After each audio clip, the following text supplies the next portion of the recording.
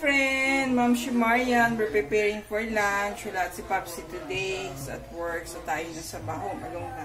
We're preparing uh, adobong chicken. So, ayaw ni Popsy yung creamy adobo chicken na ginawa natin last time. So, we'll go to our usual recipe which is nilalagyan natin ng mang tomas yung ating adobong chicken. So, meron tayong patatas, sibuyas, bawang, laurel, pamintang, durog, pwede rin buo, sugar, 5 tablespoon ang nilagay natin.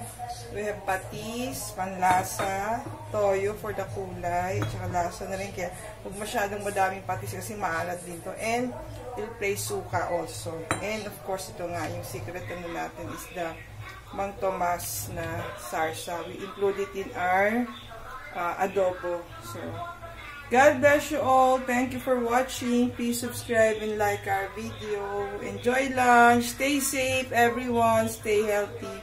God bless us all.